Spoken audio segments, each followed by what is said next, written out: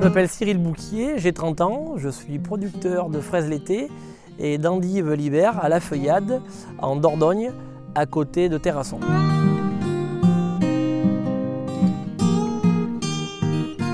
Après euh, mes études, j'ai travaillé un an en étant salarié et j'ai toujours eu à cœur de m'installer.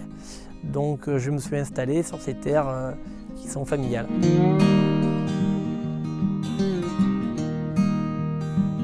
Pour la culture de la fraise, on attaque à planter les fraisiers entre décembre, janvier, février, mars pour le plus tardif. Donc on plante tout ça sous serre. Grâce à l'eau de l'hiver qui remplit la réserve d'eau, je pompe l'eau qui me sert à arroser mes fraisiers tout au long de, l'été.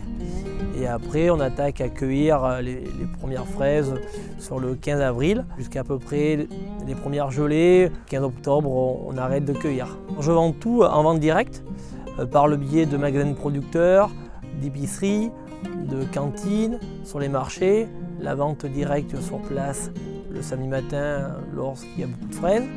Donc euh, moi je veux que les clients euh, reviennent, j'aime quand ils reviennent, donc euh, il me faut des fraises qui ont, qui ont du goût. La meilleure partie de mon travail, c'est quand je vais au marché vendre ma récolte. C'est là où on voit les gens qui, ont envie du produit, car c'est l'achat à plaisir, le premier fruit du printemps. J'ai adhéré à, la marque euh, marché euh, producteur de pays parce que euh, les marchés de pays c'est quelque chose de très festif et les gens ils aiment ce côté festif et ces produits qui sentent bon le terroir.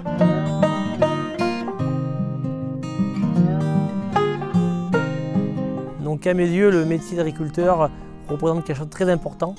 On l'a vu dernièrement avec les événements qu'on a eus, on était confinés, on était content de trouver des agriculteurs à côté de chez nous pour pouvoir euh, se nourrir.